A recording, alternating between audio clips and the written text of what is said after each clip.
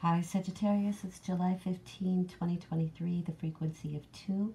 Duality, decisions, partnerships. A Saturday ruled by Saturn is limitation, responsibility, and self discipline. The moon in Gemini is rational, social, and focused. You have the Knight of Pentacles with the Justice card. There can be a fair offer today, either offered or extended by you. The Knight of Pentacles is a good, firm offer and excellent timing, especially accompanied with a Justice card, which is fair and just.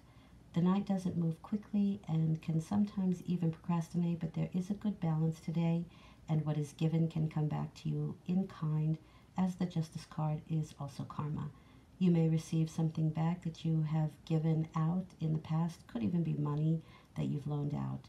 What you give, you should receive in kind, and if you are given something wonderful today, it is certainly because you deserved it. Enjoy.